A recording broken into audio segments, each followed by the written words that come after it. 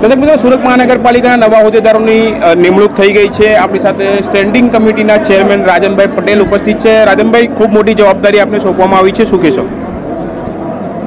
આ ભારતીય જનતા પાર્ટીની તાસીર રહી છે કે એક સામાન્ય કાર્યકરને પણ કોઈ પણ હોદ્દો મળી શકે છે. એ સ્થાયી ચેરમેન હોય ધારાસભ્ય હોય કે પછી સંસદ સભ્ય હોય. અને આજે એક એ જ ઉદાહરણ ફરી એક વખત સાબિત થયું છે. આપણે કાલ સુધી ખબર હતી કે આપ ચેરમેન બનશો? નહીં. આજે સવાર સુધી મને નહીં ખબર. મારું નામ અંદર જાહેર થયું ત્યારે મને ખબર પડી છે. જવાબદારી મળી ગઈ છે રાજનભાઈ. શહેરના મોટા મોટા કામો છે અને આગળ ખૂબ મોટું શહેરનું ભવિષ્ય લોકો જોઈ રહ્યા છે. આપ કઈ રીતે જુઓ છો? જો છેલ્લા સત્તાવીસ વર્ષથી ભાજપના શાસનમાં અવિરત વિકાસ ચાલી રહ્યો છે. એમાં કોઈ બે મત નથી કે સત્તાવીસ વર્ષથી લોકોએ વિકાસ જોયો છે તેને કારણે જ અમને વારંવાર શાસન મળ્યું છે. અને આ વિકાસની ગતિને અમે આગળ ધપાવતા રહીશું. અ, રાજનભાઈ સાથે સુર- સુરત શહેરની સુવિધાઓ સાથે સમસ્યાઓ પણ અનેક છે. જેમ કે ટ્રાફિક જામ થઈ ગયું. આ સિવાય રોડ રસ્તાઓના જે પ્રશ્નો છે, આપ વર્ષોથી આ કામ કરતા જ આવ્યા છો.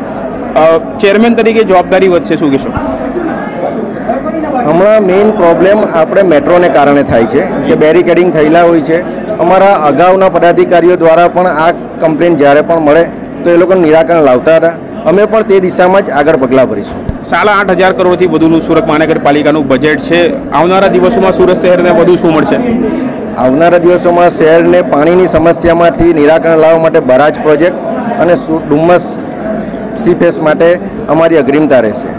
તો ચોક્કસપણે સુરત શહેરને મોટા પ્રોજેક્ટો આવનારા દિવસોમાં મળશે અને વિકાસની ગાડી છે તે વધુ આગળ નવા શાસકો વધાવશે. કેમેરામેન ફેજાન જારા સાથે કાદિર શેખ કર્તવ્ય ગુજરાત ન્યૂઝ સુરત.